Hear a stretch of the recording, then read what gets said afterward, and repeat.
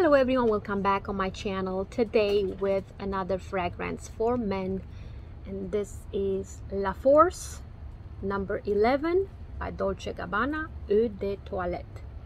This fragrance is, is inspired by the tarot cards.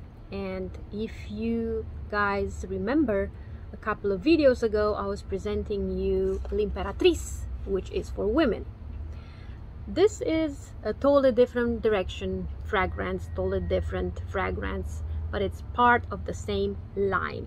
It was introduced in 2009 and it's an amber and spicy fragrance. And among the notes we have cinnamon cardamom pimento cypress nutmeg heliotrope vanilla sandalwood and caraway. Now to me this is a very spicy aromatic, warm but refreshing at the same time, very manly fragrance. It's like the name is saying, strength. Men, powerful men, strong men can wear this. It's also a very versatile fragrance. I cannot say you can wear this during the winter time or uh, during the summertime. You can wear it all year round. That's from my point of view. It's a very pleasant fragrance as well and also you get you make yourself noticeable with this one because it's interesting. It's very spicy. Very very spicy. It's a nice blend between caraway cinnamon nutmeg and amber.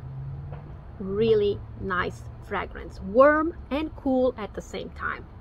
I can picture Hugh Jackman in the Wolverine wearing this scent.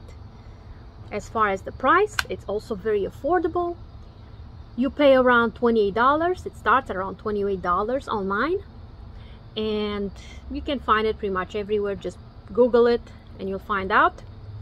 It's a great scent. It also has a pretty good lasting power around 5 6 top 7 hours. But it's an eau de toilette so keep this in mind.